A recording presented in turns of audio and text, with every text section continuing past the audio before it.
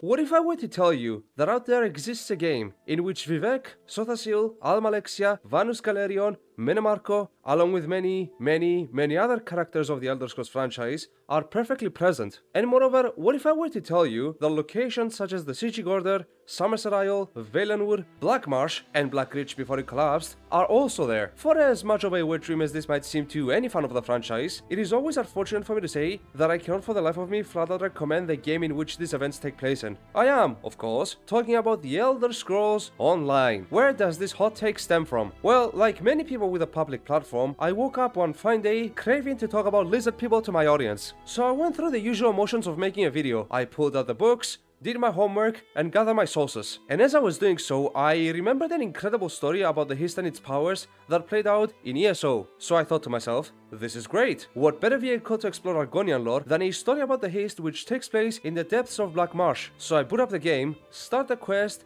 and very, very slowly begin to progress through it. I then go through dialogue after dialogue, fetch task after fetch task, boring puzzle after boring puzzle, and towards the end of the first of seven quests of the questline of Murkmire, I feel a daze, so I stopped what I was doing, laid on my bed, and slept for 5 hours. What might also interest you is that prior to this event, I had a full night's sleep. The first quest alone was enough to put me to bed, and I want to talk about this today. Why is this? What makes the story of ESO such a snorfest to go through? And I have a couple of factors that I want to share with you. Some of them you may have heard of or observed for yourselves if you know or play ESO, and some others I haven't seen discussed that much. And I think that we should talk about these things. I know many things about this ESO game right here, Perhaps too much. I want to say I finished like 80% of the zones and gotten full achievements in most of them, so I believe I have a good grip on the matter. And I believe that in its core, ESO suffers from three key issues. No difficulty, no rewards, and creative stagnation. No difficulty. Please observe me killing the average mob during an ESO questline. It's like they're guarding something. Now this is me going out of my way to get hit by every single trap inside an Argonian temple. Note that this character is a Mage Templar wearing DPS gear, meaning it's one of the squishiest builds in the game. And this is fighting the final boss of the Murkmire DLC.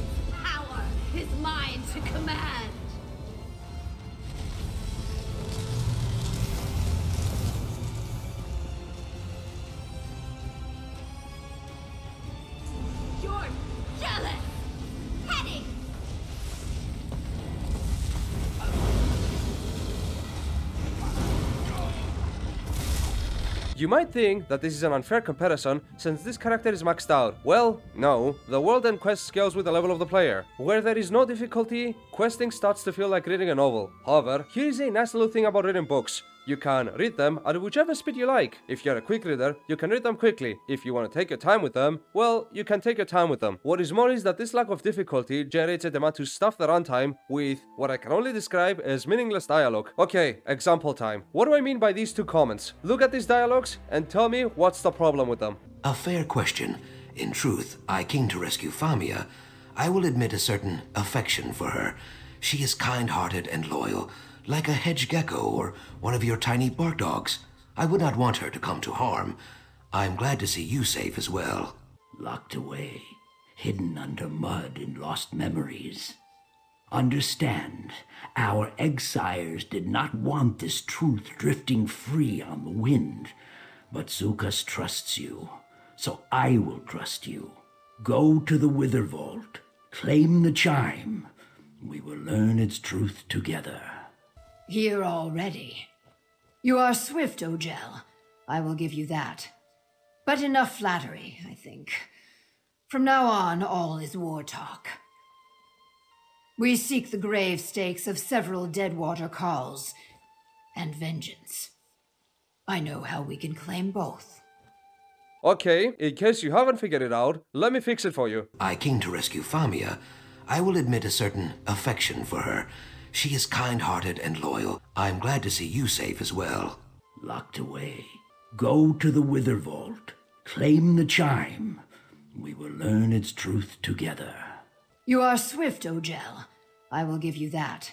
We seek the grave stakes of several Deadwater calls and vengeance. I know how we can claim both. Most NPCs talk very slowly, and there is so much added dialogue that serves no end whatsoever. I will now show you a comparison which epitomizes the phrase so similar that it's getting scary. What is us? The bumbler, Famia, Xukas, the dry scale Cassandra, a nest of weak spines in Ogel treachery. I will not. I am sorry. The Deadwater are a suspicious people, but you deserve my respect and my trust. I will join you in Lilmuth.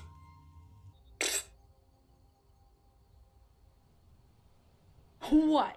You going to hand me in? Well, here I am. It's going to be the only chance you'll get. Oh, yeah? How do you figure that one out? Yeah. I'm sorry. See how adding an entire sentence where a oh damn anyway makes everything sound less lively and slow? It's incredible how much faster paced and memorable this quest would have been if instead of dialogue after dialogue followed up by fetch task after fetch task, there was maybe a boss fight that needed some time to learn the mechanics of, or maybe the boss fight just took a bunch of time itself. Zos says that they want the Overland content to be open to anyone at any level, but honestly, I think that's a flawed logic. Firstly, the world already has scaling tools, so what's preventing the player from being able to click a button and raise the difficulty? Challenging questing and accessible questing have no reason to be mutually exclusive in a game that already scales difficulty. And moreover, I would argue that one of the game's biggest flaws, its slow early game, would be made a lot better had the questing been a lot more challenging. I will never forget the time, because ZeniMax knows damn well that slow early game is a major setback of the game, when Josh Strife Hayes said in a livestream that he didn't like ESO because of how slow the early game was, and an employee at ZeniMax reached out to him and offered to give him a full power character just so he can experience the late game and skip the questing. Uh, I actually got contacted by the community manager of The Elder Scrolls Online, and they were like, "Hey Josh, uh, we know that you think that the early game is quite easy. If you would like to do some late game difficult stuff, let me know and we'll try and get that set up for you. If you have so little faith in the ability of your questing and overworld content to entertain people that you are openly acknowledging its faultiness and recommending skipping it altogether as the optimal solution, then I am sorry to tell you the obvious, but your attitude just isn't working. And it's a damn shame too, because I love some of these stories. I wouldn't have made an entire video on one of them, and now preparing to do another one for another one of them, had I didn't. Now, imagine a world, if you will, where Timmy gets absolutely ass blasted by the main quest at level 10. Instead of snorting through it. Timmy now has to become more powerful. He has to do easier quests so he can level up. He has to improve, adapt, overcome instead of listening to voice actor auditions. He has to hustle for the ending if he wants to learn what happens with the main story. As long as that's the only real thing Timmy is looking to get out of the questing, because that's all he's getting. It's almost memeable how bad the rewards for these quests are. Ah yes, you saved the continent, rescued the king or queen, restored a lost relic, stopped an evil cult, stopped a long-forgotten evil, several endangered creatures, foiled a conspiracy. No one cares. The reward is always the same, a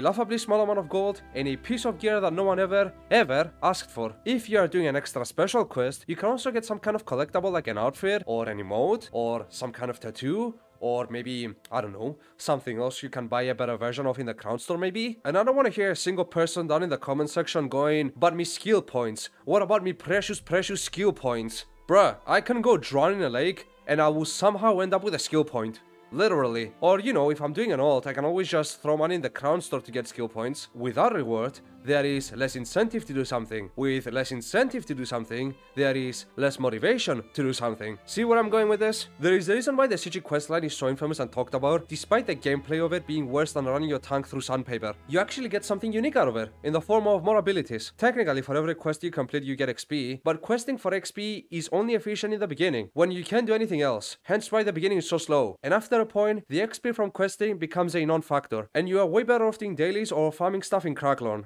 Sometimes you just want to see a cool cutscene or experience the game in a different way. A glorious climax to a story, if you will. And here is what I have to tell you, that around 50% of the zones end by telling you to go somewhere else to experience the final ending, 20% of the zones have nothing noteworthy or interesting as an ending, and only, only 30% of the zones have an ending which is interesting or noteworthy. And in a game where you have to push yourself to experience the final quest, this is just terrible. It gets even worse when you consider the fact that if you played one of these quest lines, you essentially played all of them. Which brings me to my final point.